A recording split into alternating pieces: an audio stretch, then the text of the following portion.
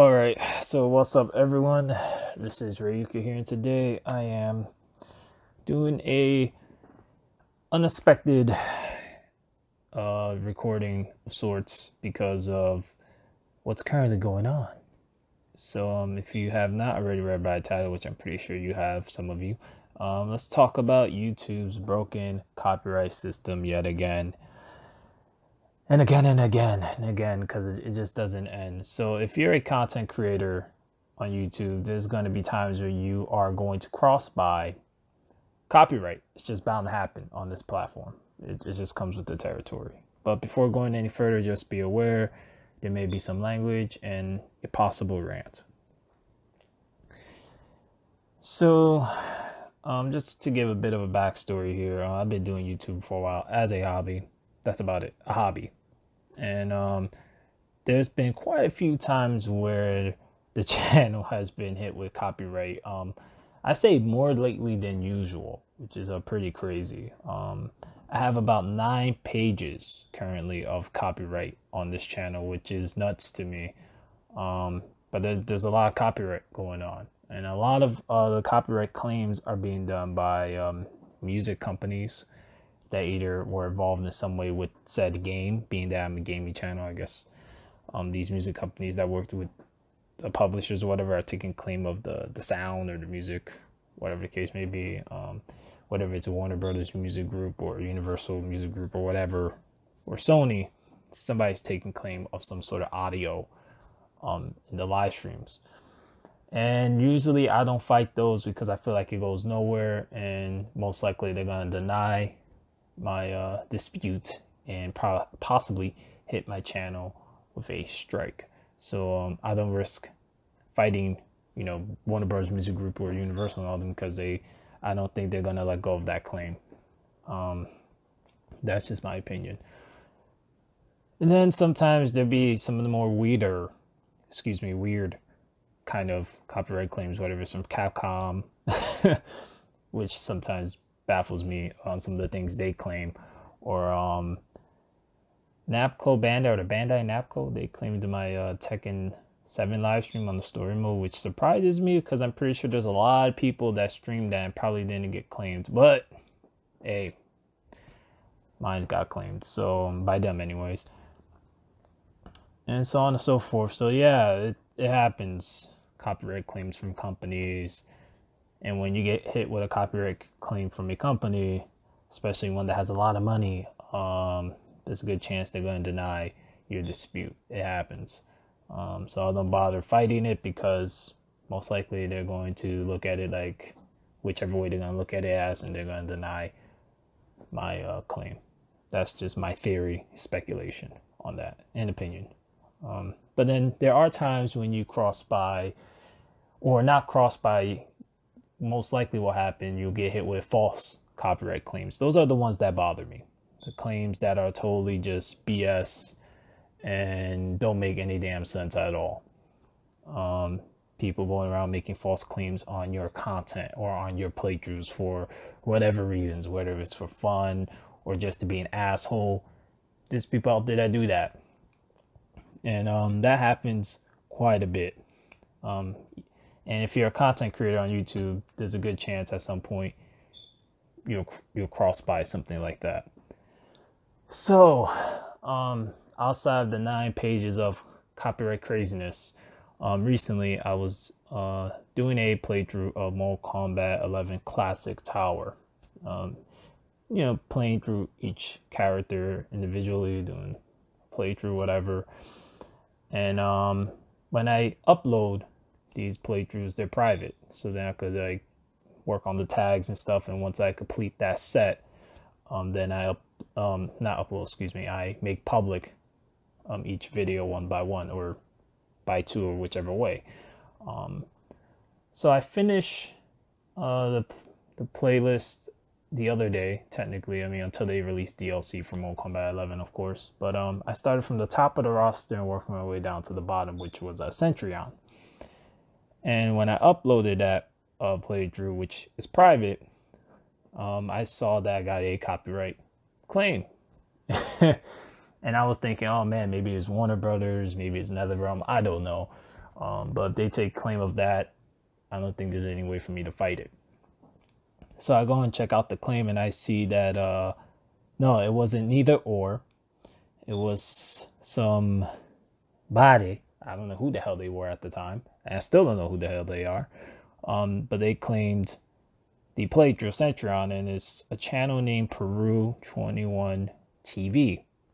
And I'm not even gonna bother pronouncing the other uh, individual. I guess they're representing them. I'm not even sure, but uh, I'm gonna just call them popular. But as you can see in, in the image, whether it's now or later, you'll see. Um, just go call them popular. But anyways, they decided to uh, take claim of my playthrough and claim audio visual content.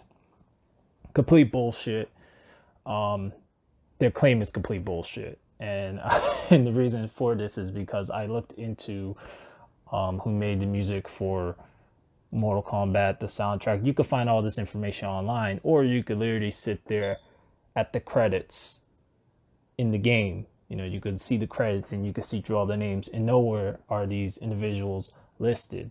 So they're clearly making a fraudulent claim, and they're claiming audio visual on uh, the playthrough um, when all the audios and visual is done by NetherRealm and uh, Warner Brothers. I, I mean, well, NetherRealm is a part of Warner Brothers, so how, however they share that, whatever. But it point being is that it's made by that comp, you know, that company, those developers, whatever. It's made by them. It's definitely not made by, definitely not made by Peru Twenty One TV or uh, Popular or whoever the hell these people are. So you know, you I go to Twitter's, and uh, not that matters on Twitter because Twitter is just shouting to the wind, and uh, basically put a tweet out there tagging NetherRealm, YouTube, YouTube creators, YouTube gaming, Warner Brother Games, just to give them a heads up, like, hey, these people are, uh, you know, going out and about claiming audiovisual on your game. You know, they're they're saying that, hey, you know, I used something that I didn't use because everything in that playthrough is of Nether NetherRealms.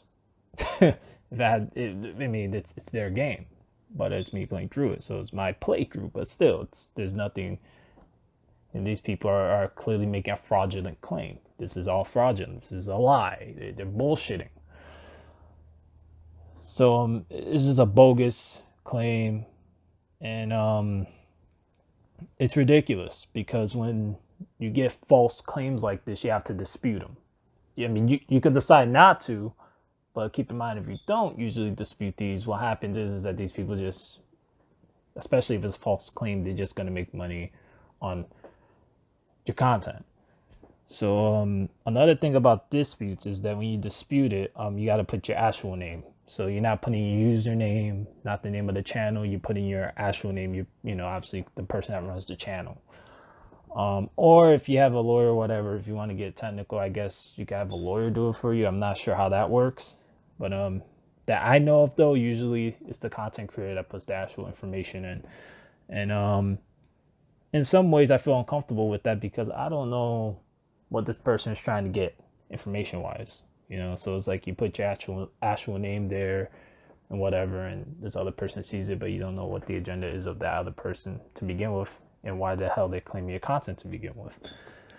But anyways, when you file a dispute, um, usually you gotta mark check mark one of the boxes, put explanation in if you want, and file the dispute. And, then you know you put your name whatever, and then you gotta wait 30 days usually for uh for them to remove the, the claim, whether it was some sort of technical error or whatever the case is. Um,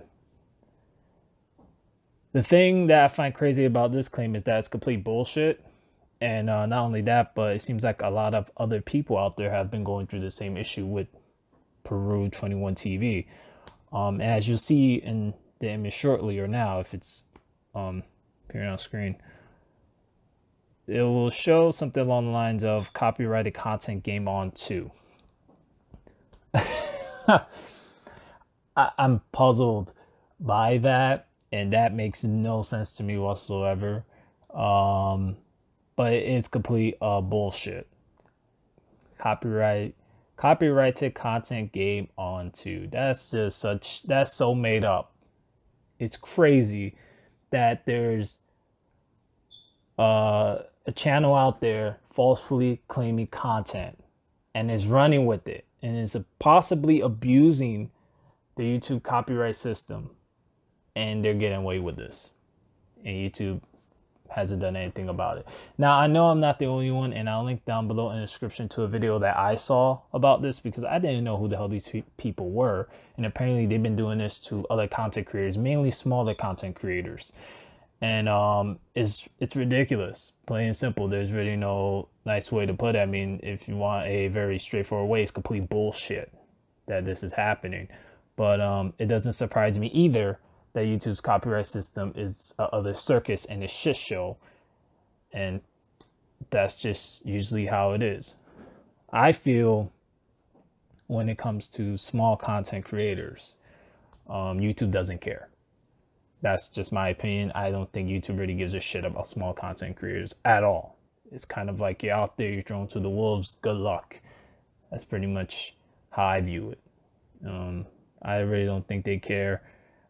I mean, even if hypothetically I had a channel of a million or two million subscribers, I still don't think they probably would care. I don't know. Maybe bigger the audience, the more attention. But being a small content creator, I've noticed with my time being on this platform, they usually don't care. I mean, that's just what I see. So, and that's my opinion on it. But um, yeah. I was hit with a false copyright uh, claim on my video, on my playthrough. And uh, hopefully this gets lifted and uh, I go on with my day. And I could make the Cetrion playthrough public for those that are looking forward to it. But um, at the same time, it's it's ridiculous that there's uh, individuals out there abusing the system. And if you're interested in that video that I was talking about, that someone was talking about this Peru 21, uh, mm, I guess somewhat better detail, I say the link will be down below in the description. I also will say uh, share this uh, video and let others know what's going on. If you all want to uh, share this and put it out there, give it a little bit of a push or raise awareness. If not, it's okay. I don't care. But um, I definitely wanted to raise awareness for my end of things because I am experiencing the same problem. So if anyone else is experiencing the same problem with these people going around claiming all kinds of Mortal Kombat content and who knows what, if you are a content creator, and make a video or keep trying to get YouTube's attention on Twitter. I don't know. it's it really looks like YouTube doesn't care though, in my opinion. It's just it's what it is. this is irritating because this is not the first time, and I highly doubt this will be the last at that.